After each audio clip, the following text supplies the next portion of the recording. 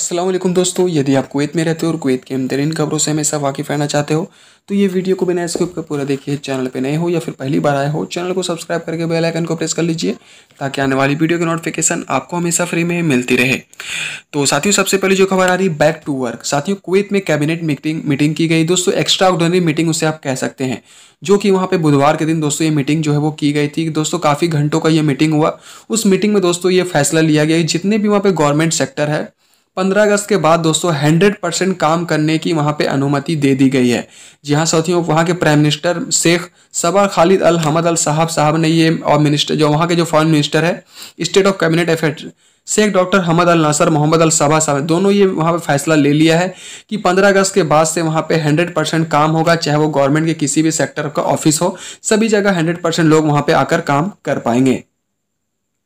अगली जो अपडेट आ रही है teachers standard outside Kuwait for over one year six month set to for return साथ ही वहाँ पे कंप्लेंट अथॉरिटी के मिनिस्ट्री ऑफ़ इंडिया तरफ़ से बताया गया है कि department of director general civil aviation द्वारा डीसी द्वारा ये फैसला लिया गया है कि जो भी स्टैंडर्ड टीचर है, चाहे वो किसी भी देश में हो, फंसे हो, चाहे वो इंडिया के हो, नेपाल, बांग्लादेश, पाकिस्तान, कुवैत, कहीं से भी हो तो उन लोगों को लाने की वहाँ पे दोस्तों प्रक्रिया जो है वो शुरू की जाएगी। बताया जा रहा है दोस्तों करीब करीब दो हज़ार एक्सपर्ट ऐसे टीचर है, जिन्हें लाया जाएगा और बहुत ही जल्दी लाने की दोस्तों प्रक्रिया जो है वो शुरू की जाएगी। क्योंकि आपको पता है कि वहाँ पे स्कूल कॉलेजेस बहुत ऐसे हैं जो खोलने के वहाँ पे इजाज़त मिल गया है और बहुत से छोटे और जो स्कूल जो है वो खोले भी जा चुके हैं। तो इसके लिए दोस्तों, दो हज़ार एक्सपर्ट स्टैंडर्ड टीचर को लाया जाएगा।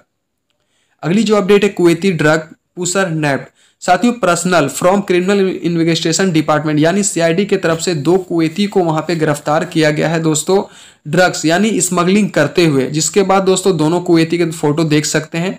ये दोनों कुवैत का रहने वाला है, सभी वो स्मगलिंग करता था, जिसके बाद दोनों ट्रैफिकरों को, दोनों को गिरफ़्तार कर लिया गया है। और जो भी दोस्तों, इस जो सामान थी, जैसे नार्कोटिक सब्टांस वगैरह, सभी को सीज कर लिया गया है। जैसा कि आपको वीडियो फ़ोटो में देखने को आपको मिल रहा होगा।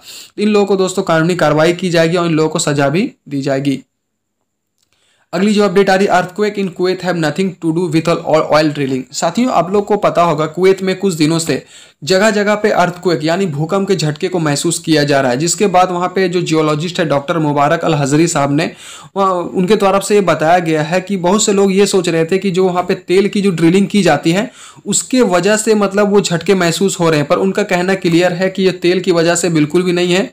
ये प्राकृतिक दोस्तों भूकंप का झटके महसूस कुवैत में किए जा रहे हैं। तो इसको लेकर काफ़ी दोस्तों वहाँ पर अटकलें आ रही थी कि जो ड्रिलिंग किया जा रहा है ऑयल का या तेल निकालने का काम जो किया जाता है, इसी की वजह से झटके महसूस किए जाते हैं। पर वहाँ के जियोलॉजिस्ट द्वारा ये क्लियर कह दिया गया है कि वो तेल के ड्रिलिंग की वजह से नहीं हो रहा है। ये प्राकृतिक घटना है और ये वहाँ पे बार बार वहाँ पे इसी कारण वहाँ पे बार बार वहाँ पे भूकंप के झटके महसूस किए जा सकते हैं। अगली जो अपडेट आ रही young Kuwaiti arrested for reckless driving साथियों, बताना चाहूँगा, एक कुवैती को वहाँ पे गिरफ़्तार कर लिया गया है, जो कि यंग, बिल्कुल 20 साल का है।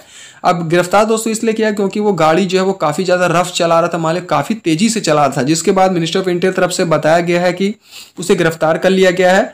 उस पर कानूनी कार्रवाई की जाएगी। दोस्तों गिरफ़्तार जो किया पेट्रोलिंग पुलिस की तरफ़ से किया गया था, जो कि स्पॉट में पकड़ लिया था काफ़ी गाड़ी को तेज चलाते हुए।